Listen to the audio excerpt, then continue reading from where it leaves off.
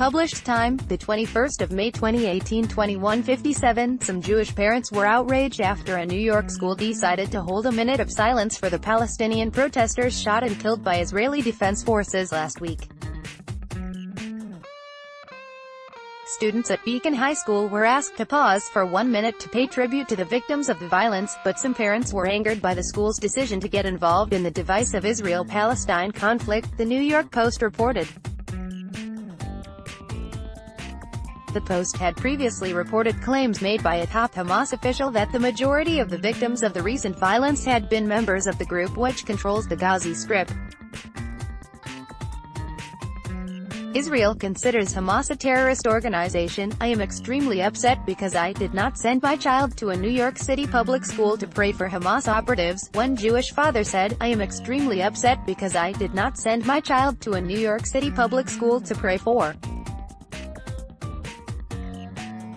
Hamas operatives, a Jewish father said https colon slash slash t.co slash zc4 bell 1 nw, Myrav Zonjan, at Myrav's May 20, 2018 a Jewish mother said she didn't believe the school should be promoting a moment of silence for terrorists, and compared the Palestinian protesters to Islamic State, ISIS, terrorists. No school would be having that over the loudspeaker, she said.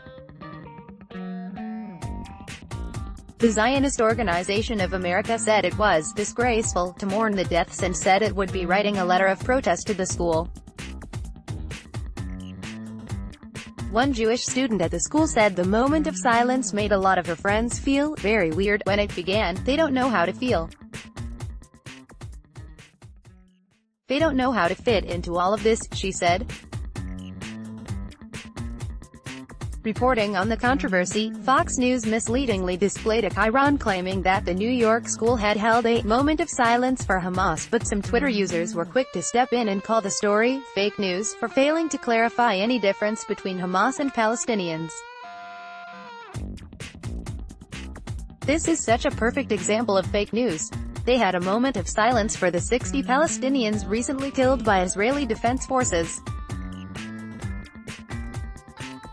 Palestinians are not interchangeable with Hamas, even though that's the only way your narrative works, Julie S.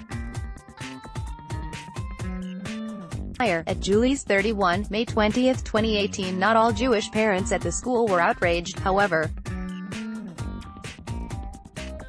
Rebecca Vilkomerson, who is the, the executive director of Jewish Voice for Peace, tweeted that she saw the moment of silence as a sign of enormous hope, and said she was incredibly proud that it had happened at her daughter's school. Thread, this is my daughter's school. When she told me about the moment of silence on Tuesday, I was amazed. In the middle of a devastating week it seemed like a sign of enormous hope that something like this could happen in an NYC public school https colon slash slash t.co slash qb2rgtgwmz Rebecca Vilkomerson at Revilkemerson, May 21, 2018 Vilkomerson said that her organization would be sending a letter to the school to let them know that many parents were happy with the school's decision. Responding to the controversy, Jewish youth activist group If Not Now said in a tweet that, holding a moment of silence for the victims of a massacre should not be controversial, and added that the Jewish community had a lot of work to do. High school students holding a moment of silence for the victims of a massacre should not be controversial. Our community has a lot of work to do. https colon slash slash t.co slash spdx3pum If Not Now fire at if note no org May 20th 2018 think your friends would be interested? Share this story.